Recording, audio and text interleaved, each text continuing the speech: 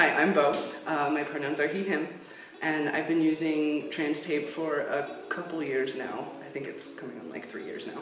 Um, I first started binding with the traditional binder, and um, because of my stage four asthma, it was like extremely difficult for me to go throughout my day that way with the compression. It's just awful. So I started binding with KT tape because I saw people doing that on Instagram. Um, and my skin did not like that at all. It inflamed and got blistered, but it was doing a lot more for me for my dysphoria than a binder ever did. Um, and then on Instagram, I found someone using trans tape, and that's how I found the trans tape account, and that it was made for that.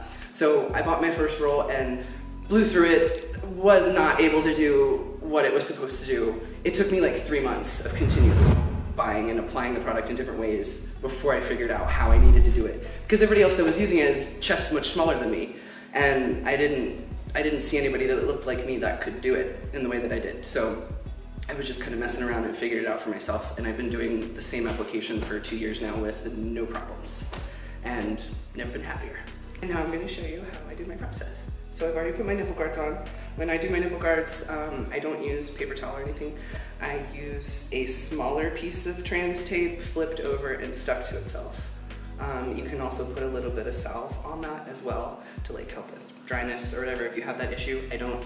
Um, so they stick on pretty well and I also don't experience the puffiness that I might get from using a toilet paper or paper towel. So um, once those are on, I've already pre-cut my strips. Um, the maximum I usually use is eight. It can sometimes be more if I'm having a bad day. The minimum that I usually use is four on a good day, two on each side. Um, but I always do them in the same amount of sections, three sections from the bold uh, blue line, and I always round my corners.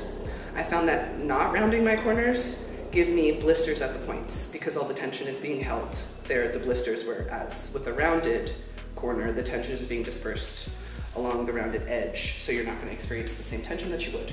I normally peel my pieces off the paper all the way so that I can line it up right, and then I lay the first couple inches down where the crease starts, about there.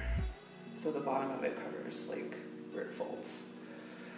And the fun part, you're gonna grab it like right where it's sticking and bend over at 90 degrees from the hip so that everything falls towards the floor and then use the tape itself to pull everything kind of downward and under your armpit and then lay the slack inch down.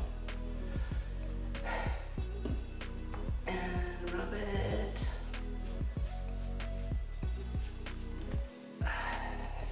And that's typically what the first piece looks like. It looks really ugly.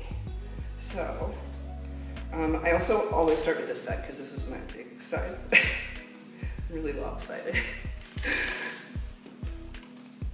and then normally I would add a second piece, but this piece is actually good enough. I think I just need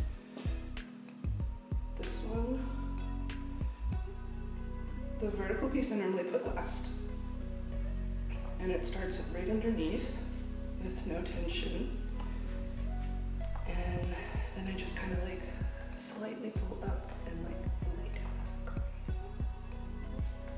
And that's gonna give it like a smooth kind of look under your shirt. And you can go again if you need to over top of it. As long as the endpoints are touching your skin, it won't lift up. And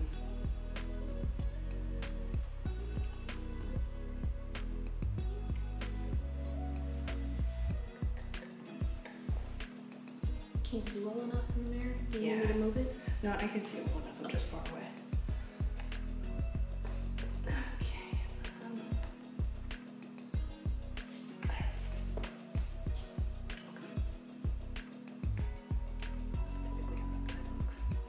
Yay!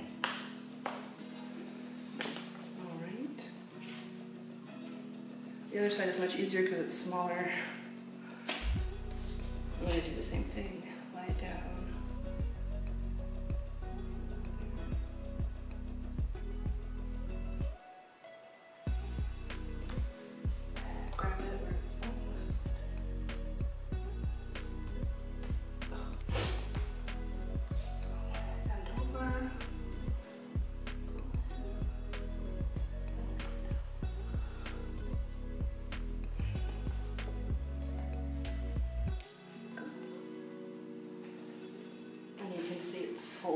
Right there. Um, that can get sweaty underneath of there. It might bother some people. You can put a rolled up piece of like paper towel or whatever's comfortable for you so that it will like absorb some of the moisture. Um, it doesn't bother me, so I don't do that. And you can also go in at an angle sometimes. Like. And the vertical piece is what really helps me get that